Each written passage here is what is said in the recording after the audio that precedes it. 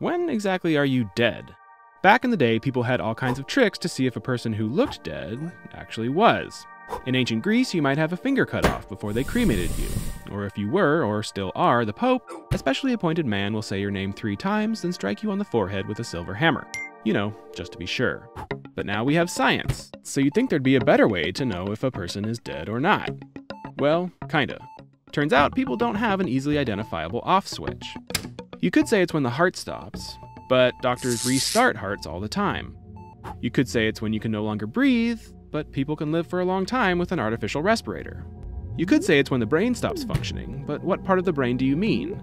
The neocortex is the part that has thoughts and feelings, the part that makes you you. And it can live on after the brain stem, the part that controls minor things like breathing, dies. And the brain stem can live on and keep the body alive without the neocortex. Medically speaking, brain death is death, even if your heart is still beating. And by brain death, doctors mean total brain death, which they diagnose by seeing if you respond to pain, checking for brainstem reflexes like dilating pupils or gagging, and finally disconnecting you from machines and seeing if rising carbon dioxide levels in your blood kickstart your brain into gear.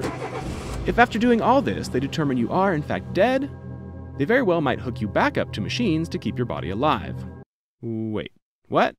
Well, there's one way to know for sure if a person is dead putrefaction.